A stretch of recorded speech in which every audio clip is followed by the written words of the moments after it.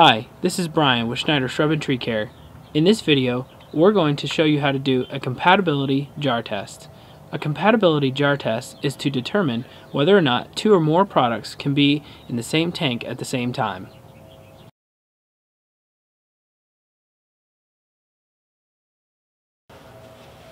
When doing a compatibility jar test, make sure you wear the proper PPE. The proper PPE for the products that you are using can be found in the label.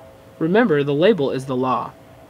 You're also going to want to have a clear quart jar, clearly labeled do not drink.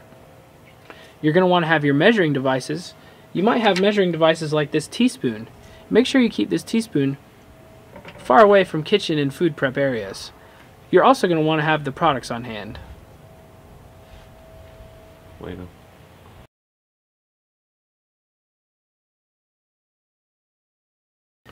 You're going to want to add the products in the proper order. First, add water conditioning agents and activators. Second, add wettable powders and dry flowables. Third, add water-soluble concentrates and solutions. Fourth, add emulsifiable concentrates. Fifth, add soluble powders.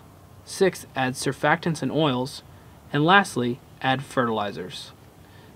You're going to want to mix the mixture each time you add one of those products.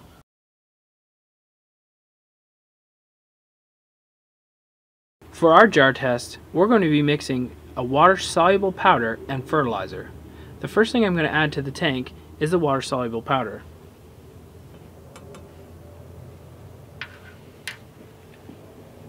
Now I'm going to mix the jar completely. Once you've added your first product, in this case our water-soluble powder, make sure you mix the product well. To do that, put the cap on tight and shake the jar vigorously. Make sure you don't drop the jar because it is glass.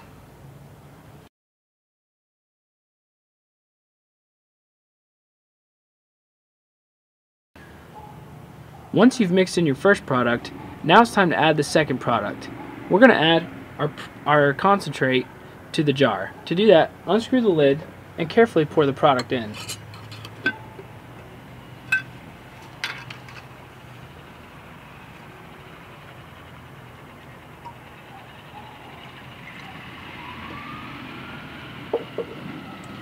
You're going to replace the lid and shake the jar vigorously again.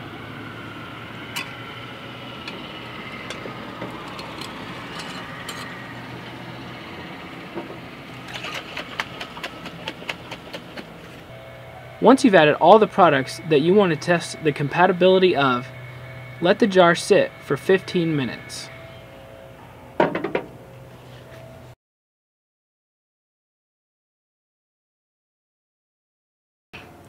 After 15 minutes, feel the side of the jar to check the temperature of the jar.